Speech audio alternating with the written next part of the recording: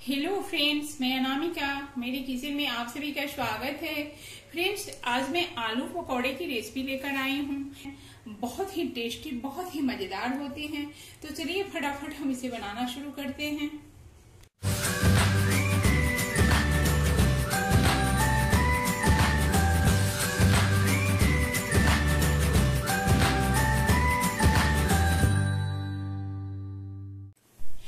आलू का पकौड़ा बनाने के लिए हमने लिया है तीन आलू, हरी मिर्च, लहसुन, अदरक, प्याज। तो सबसे पहले हम कच्चा मसाला को तैयार करेंगे। तो यहाँ पे हम एक मिक्सर जार लेंगे और इसमें डाल देंगे प्याज, अदरक, लहसुन, हरी मिर्च और इसे हम बहुत बढ़िया से पेस्ट बना लेंगे।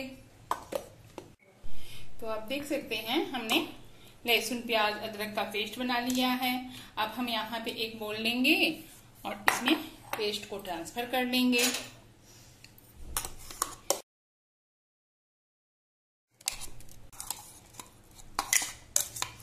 अब हम इसमें थोड़ा सा पानी डाल के बाकी के पेस्ट भी उसमें डाल देंगे। अब हम इसमें डालेंगे आधा कटोरी बेसन, यानी कि चने का आटा।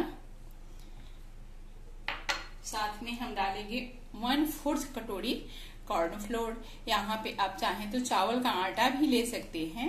ये पकौड़े को काफ़ी क्रिस्पी बनाता है। साथ में हम इसमें कुछ सूखे स्पाइसेस ऐड करेंगे। तो यहाँ पे हम एक चम्मच धनिया पाउडर डालेंगे, यानी कि कोरिएंडर पाउडर। हमने हरी मिर्च डाल रखा है तो इसके लिए हम एक चम्मच लाल मिर्च पाउडर डालेंगे।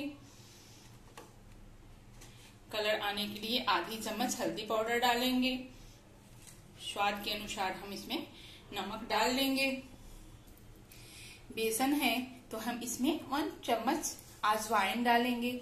आजवाइन को हम हथेली पे मीस के डालते हैं और थोड़ा सा हम इसमें हींग डाल लेंगे, यानी कि वन फोर्थ चम्मच या दो चुटकी आप कहिए।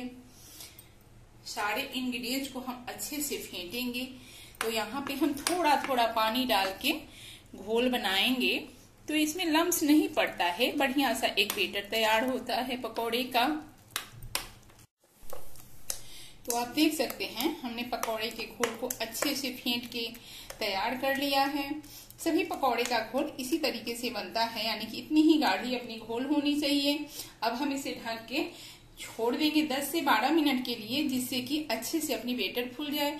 तब तक हम अपना पकौड़ा काट के तैयार कर लेंगे। तो चलिए हम पकौड़ा काट लेते हैं।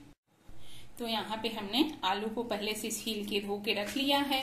अब हम इसके पतले पतले स्लाइस काटेंगे। पकौड़े की स्लाइस जितनी पतली होगी, उतना ही क्रिस्पी पकौड़ा तैयार होगा। तो आप या तो इसे चौपर से काट लीजिए, या प्रैक्टिस है तो चाकू से भी काटिए। एक बार देख लीजिए, एकदम पतली पतली स्लाइस है। तो ऐसे ही हम सभी पकौड़े काट लेंगे। हमने आलू को अच्छे से काट लिया है। बेटर में हम पकौड़े को डाल लेंगे। तो एक बार में आपको जितना पकौड़ा बनाना है, उतना डाल लीजिए। और चम्मच से उलट पलट के बेटर में इसे डिप कर लीजिए। यानी कि इसमें अच्छे से बेटर लग जाना चाहिए।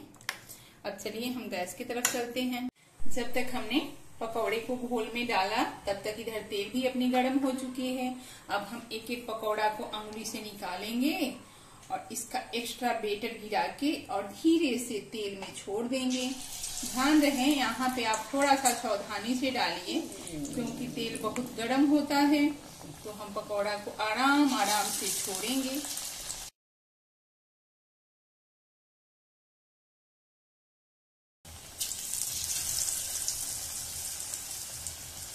एक बार में जितना पकौड़ा आ सके आप आराम से डालिए। मीडियम फ्लेम पे हम इसे उलट पलट के ब्राउन होने तक पकाएँगे। चलिए हम एक बार पकौड़ा को उलट लेते हैं।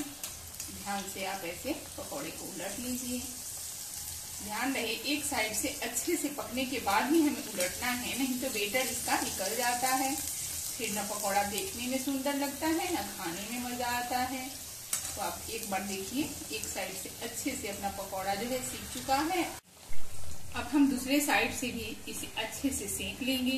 यानी कि अपनी आलू पक जानी चाहिए, कलर भी ब्राउन होना चाहिए, क्रिस्पी होना चाहिए।